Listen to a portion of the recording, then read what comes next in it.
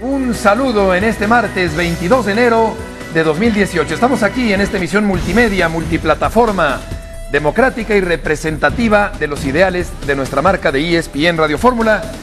Y vamos a saludar con mucho gusto a Ciro Procuna. Ciro, buenas tardes. Buenas tardes. El juez de plaza estaría concediendo. ¿Así Muchas gracias. Eh, pues ese pañuelo, sí, sí, el indulto. El, indulto.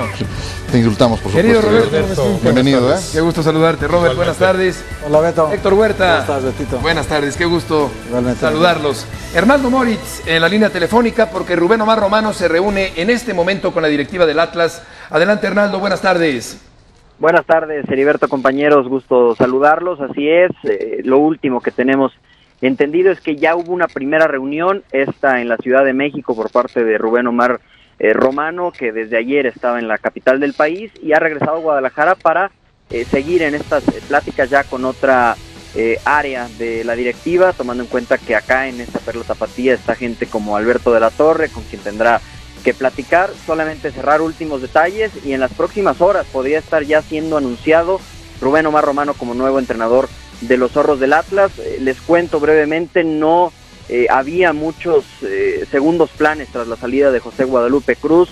tuvieron que salir al mercado internacional a ver quién estaba disponible. En su momento Almirón era uno de los candidatos y no lo fue más luego de tomar las riendas de, un club colombiano y por ello eh, han encontrado en Rubén Omar Romano un viejo conocido que entiende lo que es dirigir al Atlas, que lo ha hecho ya en un par de ocasiones y que, insistimos, eh, tras eh, cerrar estas pláticas que se están realizando en unas horas más, podría ser anunciado ya como entrenador de los Oros del Atlas a espera de que esto se confirme de manera oficial. Correcto, Hernando, vamos a tratar de hablar con Rubén antes de las 4 de la tarde, a ver si ya se desocupó, si ya terminó su reunión con la directiva del Atlas. esto quiere decir que Gerardo Espinosa terminaría este interinato breve como técnico rojinegro. Estaremos en contacto más tarde, Hernando. Buenas tardes. Buenas tardes. Sí, Gerardo Espinosa, por cierto, Heriberto, viaja el día de hoy con el equipo, dirigirá sí o sí mañana la Copa MX contra Tampico y ya estaría eh, pues regresando a esa estafeta. Buenas tardes. Correcto, gracias Hernando. ¿Qué les parecería, Ciro, Héctor, eh, Roberto, la llegada de Romano al Atlas de Guadalajara? Sería su tercera etapa, ¿no? Ya, tercera etapa, sí. Dos veces fue técnico del Atlas. Realmente no ha dejado así como una estela de recuerdos de gran, grandes eh, torneos, pero es un técnico de mucho oficio, tiene el perfil de técnico que le podría gustar al Atlas, que encaja más eh, en fútbol más ofensivo, más agradable a la tribuna, que es lo que no pudo nunca conectar el profe Cruz con la tribuna, no hubo nunca esa comunicación. Y bueno, pues es un técnico experimentado, hay un momento difícil para el Atlas, está a 12 puntos del descenso, tienen que pensar bien en un técnico que saque adelante el, el barco este, ¿no? A mí se me hace una buena opción. Eh, Romano lo considero yo como algunos otros, pensaría en Tomás Boy, por ejemplo, entre los técnicos que no han sido campeones y que son, para mí, bastante mejores que muchos que sí lo han sido. O sea, este simplismo de medirlo todo con los títulos, Romano creo que en cierta medida el fútbol mexicano ha sido injusto con él porque dirigió en su momento equipos que tenían todo para ganar el título y de hecho estuvo muy cerca. Muy cerca en la cancha de Toluca. Veces, sí, si el fútbol mexicano se jugara a tabla general, seguramente Romano tendría algo en su vitrina, ¿no? No es así, estamos en otro sistema de competencia. Yo aquí lo que sigo pensando que fue un error de parte del Atlas fue haber cesado a Pepe Cruz en la jornada 2. Si tan frágil era el suelo en el que estaba pisando el técnico del Atlas, debieron haberlo cortado en diciembre para tener entonces más margen de maniobra para una decisión tan importante como como es la elección de técnico, y no después de dos partidos nada más y ahora en lo que parece una decisión eh, precipitada. Vamos a ir a una pausa y volveremos enseguida en esta tarde en ESPN Radio Fórmula para hablar sobre la apelación eh, que no prosperó del América con respecto a la suspensión de Uribe, expulsado el domingo anterior en Ciudad Universitaria.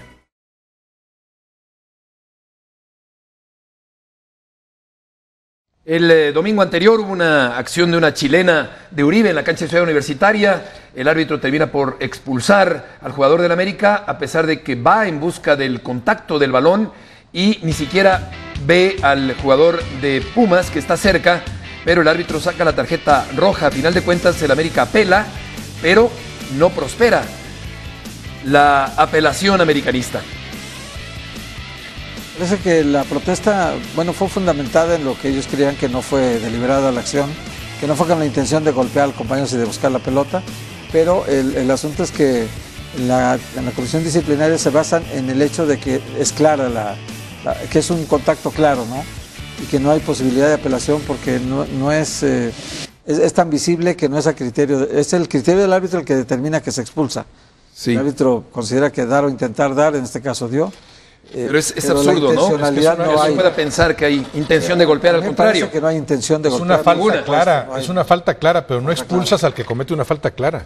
Necesitas otro ingrediente, que, es la deliberación, la premeditación, que aquí no existe. Entiendo más o menos el argumento de la comisión de apelaciones. De, apelaciones pero no es de roja esa, No es de roja de ninguna manera. Sí, sí, Ojalá fuera más congruente la comisión de apelaciones en, en otros casos cuando terminan reduciendo sanciones por casos que sí merecen eh, unos temas ejemplares, ¿no? Como todos los temas de violencia en los estadios y de veto que se han presentado por estas situaciones. Ojalá ahí sí fueran eh, tan sólidos como lo están siendo en este caso, porque sí me queda claro que no han sido parejos. Y me parece absurdo expulsar a un jugador que busca hacer un remate sin cometer falta alguna, aunque hay un contacto, pero no se puede perder de vista cuál es la intención del jugador, que es la de rematar hacia la portería universitaria. Adelante Marcelino, buenas tardes.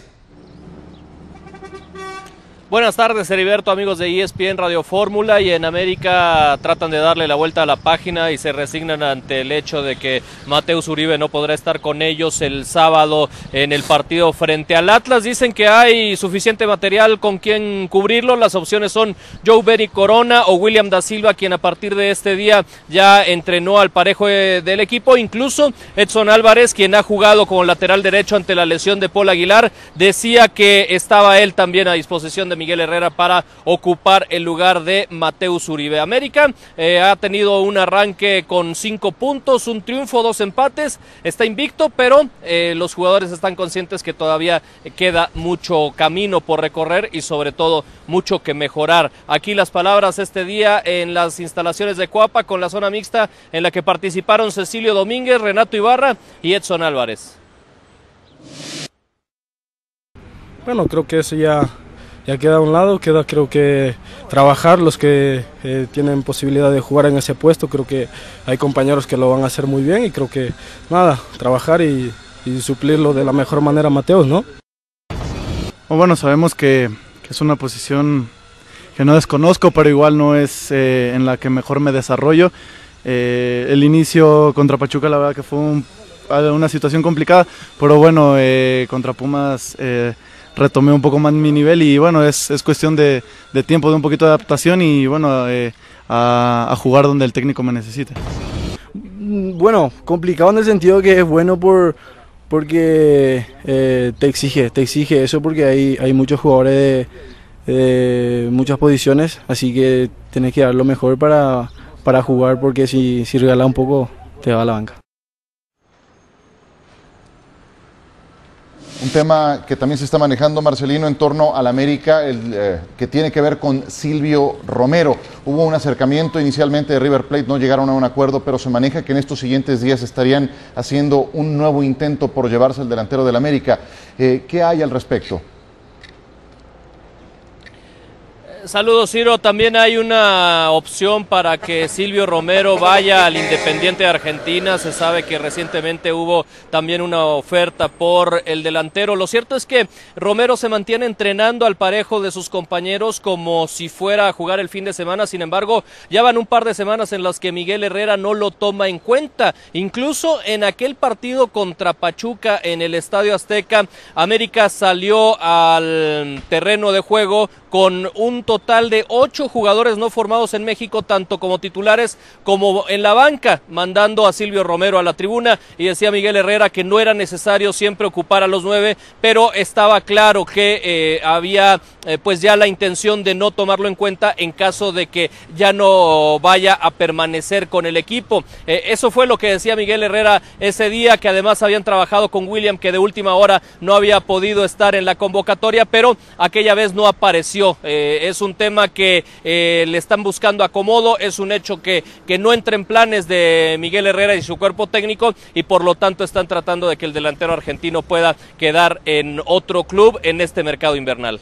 Bueno, por lo que toca a Uribe, la Comisión de Apelaciones tiene la brillante oportunidad de sentar un precedente y echar para atrás una expulsión y una suspensión injustas en este arranque de torneo. ¿Y qué nos platicas de Pumas, Marcelino? Heriberto Pumas está preparándose para su segundo partido del torneo de Copa, el cual jugarán la noche de este miércoles en casa ante Juárez. Ya cayeron la semana pasada 2 por 0 ante Lobos WAP con un cuadro totalmente alternativo, prácticamente juvenil, con jugadores de cantera y, e incrustando ahí a Pablo Barrera y Abraham González como los hombres de experiencia para que tuvieran tiempo, además del colombiano Juber Asprilla que salió lesionado. Para Pumas, para los jóvenes de Pumas es una oportunidad de mostrar así es como lo están tomando, a pesar de que la prioridad para David Patiño y su cuerpo técnico es la liga, pero para, para los juveniles eh, eh, lo ven como una magnífica oportunidad para llenarle el ojo a su técnico. Aquí las palabras de Pablo Jaques y Bernabé Magaña, dos jugadores que están considerados para iniciar en Copa este miércoles ante Juárez. Eh, como le dices, estábamos pasando por un buen momento. el equipo se siente muy bien, estamos muy contentos por, por este momento. Eh, no podemos bajar la, la, cabeza, tenemos que seguir adelante y empezar, pensar en, en, el partido que viene, no podemos pensar más allá, tenemos que ir pensando partido a partido. Hemos trabajado, hemos trabajado igual de fuerte, nunca, nunca yo he sentido que se haya estancado, tal vez dejamos de, de hacer un poco de cosas, pero las metodologías siempre han sido las mismas, la garra puma, ser el objetivo de cada uno de nosotros desde que somos chavos de cantera es, lograr ser un, símbolo Puma, ¿no? Llegar al primer equipo, consolidarse y, ganarse el, respeto de, los compañeros, de la afición y, por supuesto que, trascender.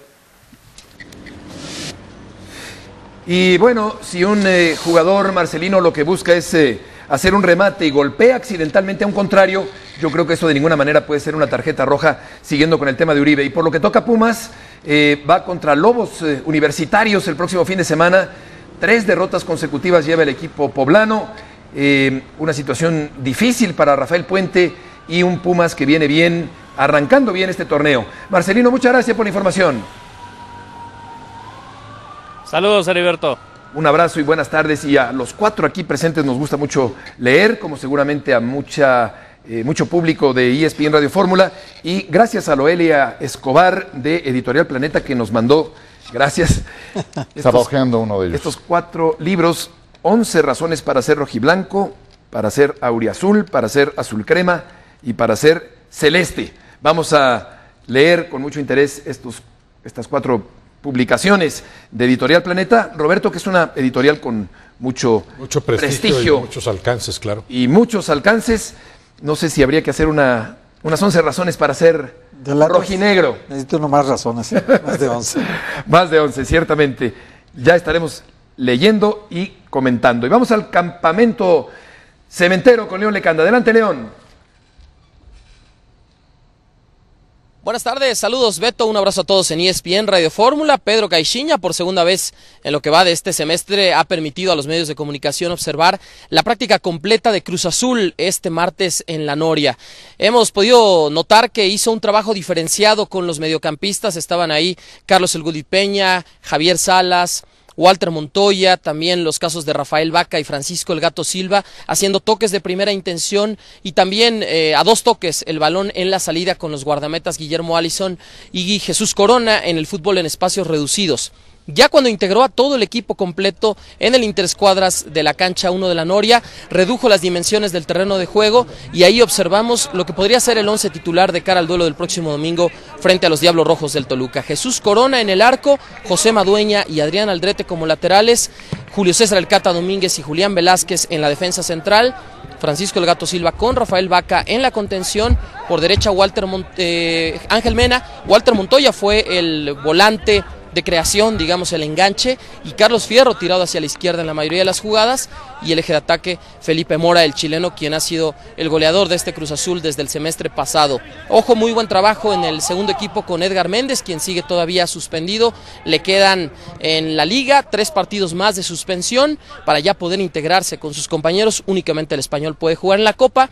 Y finalmente decir, Beto, compañeros, que Martín Cauterucho y Martín Rodríguez con los preparadores físicos han hecho trabajo por separado, no están recuperados plenamente sus lesiones, pero todo apunta a que a fines de esta semana pueden ser evaluados para saber si pueden estar listos de cara al duelo ante los Diablos Rojos. Y quien ya se integró con sus compañeros es Gerardo el Jerry Flores. Ojo, si se pone al 100% físicamente, él puede ya disputarle el puesto de lateral derecho a José Madueña. Hoy hizo el Jerry Flores, trabajo en el Interescuadras, fútbol al 100% sin molestias. Un abrazo, buenas tardes, regreso con ustedes a ESPN Radio Fórmula. Qué bueno, León, gracias por la información, por lo que puede aportar Flores jugando por afuera este buen lateral en el fútbol mexicano que ha tenido alguna intermitencia debido a las lesiones, pero que sin duda es un buen jugador que ya ha sido convocado a la selección nacional. Y lo cierto, Ciro, Roberto, Héctor, es que sigue la máquina sin hacer valer su condición de local en este torneo. Quizá Méndez, eh, que se mencionaba, podría ser eh, quien le diera un salto de calidad ¿no? al funcionamiento del equipo. Falta Méndez, falta que en general Caixinha encuentre su alineación idónea, que los ponga a jugar más tiempo juntos, porque es evidente que pueden y deben funcionar mucho mejor con el material que tienen. Se ve que quiere a Montoya y a Peña, pero no están estos dos en lo individual aún en su mejor momento. Hablaremos con Denis Teclose más adelante en ESPN Radio Fútbol. Instante, le baja el volumen a la televisión. Joel Morales, adelante, buenas tardes. Hola Alberto, buenas tardes, saludos para todos en la mesa de ESPN Radio Fórmula. Sí, hoy ha sido muy contundente el técnico de Toluca, Hernán Cristante, al mencionar primero y al explicar qué fue lo que pasó la noche del viernes en el Estadio Jalisco cuando sale expulsado. Ya dio por ahí, eh, digamos, su versión después de que se habían manejado algunas distintas. Él nos ha dicho que la seña obscena se le hizo a uno de seguridad de ahí del Estadio Jalisco y, y que le molesta que hasta en estos, en estos tiempos, en estos momentos, se sigue hablando más de las cosas que hicieron en el pasado. Joel, perdona interrumpirte, te vamos a volver a marcar porque no se, no se te entiende bien. Cuando está viendo un programa deportivo y empiezan a hablar de todas estas cosas. Sí, vamos a escuchar a Hernán Cristante sobre este tema trabajar sobre lo ocurrido, aunque, aunque no vuelva a pasar. Eh, ser objetivo con eso, saber que estuvo mal y no se puede volver a repetir, simple. Obviamente que sí, es algo que desgasta, algo que no entiendo, algo que eh, me hace apagar la televisión o bajar el volumen cuando estoy viendo un partido, porque eh, no, entiendo, parece, me causa una sensación como que ya no vemos fútbol el equipo ha ido mejorando. Joel, eh, adelante, buenas tardes otra vez. Hola Heriberto, buenas tardes, saludos para todos en la mesa de en Radio Fórmula. Como ya escuchamos a Cristante, está muy, muy molesto por lo que se ha manejado, por las versiones que han manejado. Eh, él menciona los medios de comunicación, explicó qué pasó la noche del viernes en el Estadio Jalisco. Él, eh, podríamos decir su verdad, le ha, le ha dicho el día de hoy en conferencia de prensa, donde menciona que él no le hizo ninguna seña obscena al público, sí se metió con el guardia de seguridad del estadio porque no lo dejaba eh, no lo dejaba bajar y aparte se estaba metiendo con el técnico. Ya lo escuchamos él menciona que la prensa ha sido muy dura sobre todo a la hora de criticar y una de las cosas que él no entiende es que se siga tachando a sus jugadores que en el pasado, bueno, tuvieron algunos actos de indisciplina como Luis Quiñones, como Ángel Reina y como el mismo Rubén Zambuesa y no se está hablando en estos momentos del buen paso o del buen torneo que han eh, empezado en el clausura 2018 menciona que aunque no se le ganó a Chivas y aunque perdieron con León, el equipo está haciendo las cosas muy bien y que desde el momento que Rubén Zambuesa llegó se empezaron a hacer calificativos como que el mismísimo diablo llegaba al conjunto de Toluca. Él pide un poco más, eh, quizás podríamos decir, de calificativos a lo que está haciendo en el trabajo, en el fútbol, y no a los hechos por indisciplina que ya sabemos que han pasado sus jugadores. Correcto, Joel, muchas gracias por la información. Saludos. Buenas tardes. Yo, siento que Cristante está en este torneo más revolucionado que otros torneos. Sí. Eh, había estado tan calmado los torneos anteriores que parecía que no transmitía. Prudente. Sí, ha sido prudente, pero no transmitía. Parecía que no vivía los partidos. Hoy lo estoy viendo al revés todo lo contrario, ¿no? Como que le, la exigencia de la directiva que ya le pidió títulos, porque ya dicen el Toluca tiene mucho tiempo sin ganar títulos, y a Cristante ya no le, no se conforman con calificar, ya lo dijo Suinaga ayer. Y se le fue el centenario. Se le fue el centenario, que no ganaron nada tampoco. Entonces ya como que él siente la presión ya y ahora está, me parece que en el extremo contrario, hoy demasiado acelerado. Sí ofende a la tribuna, obvio, evidentemente le hace un paseo ahí de dedos, este que no es propio de un técnico como él. Y luego también en, el otro caso es indefendible Zambuesa. O sea, lo que Zambuesa hace cuando mete el tercer gol, dile a decirle a la gente aquí sí hay, allá no, esto tampoco es propio. Y luego eh, vienen las agresiones de la tribuna, con un cenicero, le, con un encendedor, le abren la cabeza a uno de los jóvenes de la banca entonces, esas cosas son incidentes provocados por, por malas, malas decisiones. De los, una de los Zambuesa, mal mala decisión. La otra, lo de Quiñones. Él mismo se equivocó al no sacar a Quiñones. Quiñones estaba, pero eh, para ser expulsado en cualquier momento. O sea, ya tenía la tarjeta de amonestación, seguía metiendo el pie. seguramente lo iban a expulsar en algún momento. Y bueno, al final ocurrió eso y se va junto con Quiñones, se va también Cristante por reclamar. Sobre todo en una institución eh, modélica, eh, con principios muy claros, con una dirección, con un hombre que es el mandamás ahí, que es un caballero, que es un hombre importantísimo en términos de educación, de conciencia a nivel eh, deportivo, institucional. Y Cristante decía hace poco también a los reporteros en la liguilla anterior que como el Toluca no pertenece a ninguna de las televisoras de ustedes que están aquí presentes, por eso no le prestan atención, lo cual es una absoluta eh, sandez por parte de Cristante, porque cuando un equipo es noticia, cuando un equipo es relevante, cuando un equipo juega bien, porque Toluca fue intermitente en el torneo anterior, por supuesto que se le da todo el espacio que periodísticamente merezca un equipo que además en este caso tiene una importancia histórica muy grande. Pero además se ve como una excesiva preocupación por lo que digan o dejen de decir de su equipo, ¿no?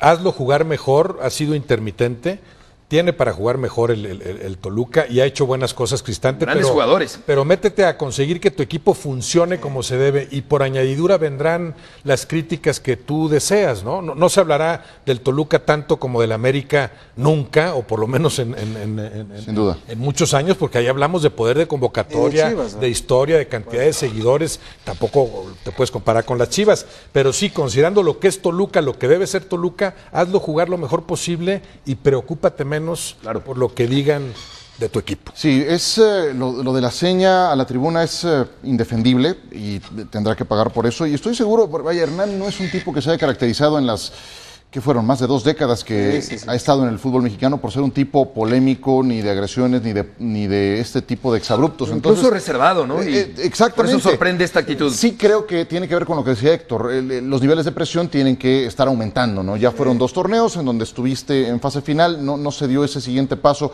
Fue un año muy importante, estamos hablando de un centenario. Y es evidente que por más que sea una de las grandes figuras en la historia del Toluca, tendrá que llegar un momento en que se haga un corte de caja para saber si continúan o no.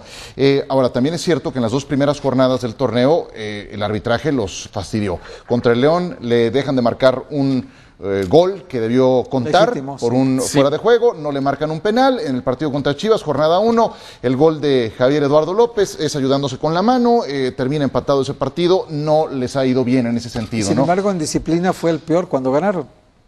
Lo curioso es que esto, cuando los árbitros los fastidiaron no hubo tanto problema. Y ahora que ganan un partido claramente, que le iban a ganar al Atlas hasta con los ojos cerrados le ganan. Sí. Y, mira cómo se arman problemas, Zambuesa se burla de la gente, dicen que no, que, era un mensaje para sus compañeros, pero en realidad la tribuna lo entiende como una burla. Cuando hace esta seña, evidentemente se está burlando. Luego lo de Cristante, esa, esa, desmedida reclamación. Cuando Luis Quiñones se ganó la tarjeta segunda amarilla, pero de calle se la ganó. Entonces a mí me parece que no fue justificado tanto reclamo en este partido. Sí, sí, sí. Sí, de acuerdo, de acuerdo. Y de que no tiene el mejor plantel de México es indiscutible, no, está ahí, pero sí creo que está en el siguiente bando de equipos que se van a meter a fase final y creo que eso es lo mínimo que se le puede pedir al Toluca. Cambiamos de tema y vamos a escuchar a Carlos Vela en entrevista para ESPN. Tu decisión venir a Los Ángeles y la MLS fue recibido en México con mucha crítica. ¿Eso te sorprendió? No, porque ya había pasado con más gente. Yo creo que no soy el primero que se le critica, ni seré el último. Yo creo que es muy complicado tener a todas las personas felices y a todas las personas de acuerdo contigo. Yo creo que eso es prácticamente imposible con la decisión que tomara. Yo creo que al final cada uno tiene que ser consciente, tiene que ver qué es lo mejor para su vida y sobre eso ir, ir adelante sin mirar a qué van a decir o qué no van a decir. Yo creo que el que tenía que estar contento era yo y yo estoy muy contento. Creo que la opinión pública era, es que un jugador que llega a la MLS no puede mantener su nivel. A esa gente, ¿qué le dices? No, eh, yo voy a trabajar muy fuerte y, y, demostrar en el campo, que es la única manera donde puedo demostrar que estoy bien, que estoy en buena forma y que quiero ser importante en esta liga. Creo que las palabras sobran. Si luego en el campo estás metiendo goles, estás haciendo bien el trabajo con tu equipo, yo creo que ahí va a ser cuando la gente se dé cuenta de que las cosas no son como, como uno lo ve. ¿Cómo ves tu papel en la selección? ¿Te ves como titular en Rusia? Bueno, voy a trabajar para ello. Voy a trabajar muy fuerte para ganarme un lugar primero y después, si me toca la oportunidad de estar allá, trabajar duro para poder ayudar a México a, tener un gran mundial, porque creo que estamos deseando poder tener un gran torneo y ojalá sea en Rusia. ¿Cómo ves el grupo que les tocó? Bien, creo que es complicado, obviamente, pero confío mucho en el equipo, confío mucho en mis compañeros y que podemos dar un gran torneo. El tiempo no pasa en balde y escuchamos eh, muy centrado, maduro, inteligente a Vela, eh, porque ciertamente es imposible unificar criterios. Este es un jugador con unas condiciones excepcionales, para mi gusto el mejor futbolista con el que puede contar Juan Carlos Osorio, pero eh, los altibajos eh, y algunas eh, formas tan raras de desbarrar, a pesar de ser un talentosísimo jugador, han impedido que se consolide. Pero yo creo que puede seguir siendo, o sigue siendo, eh, una pieza que, pudiera resultar importantísima para la selección mexicana en el Campeonato Mundial. Potencialmente es de lo mejor que de lo mejor mexicano. No hay otro igual. Y, a pesar de lo que se le puede todavía cuestionar aquello de la Copa del Mundo, porque parecía ser su mejor momento, porque era un escaparate maravilloso, pudo haber tenido el mundial que tuvieron Herrera y Ochoa o incluso por, eh, por encima pero la trayectoria de Vela ahí está. Tampoco es un jugador que haya dejado de rendir. Es, es, de las mejores trayectorias que futbolistas mexicanos hayan tenido en Europa.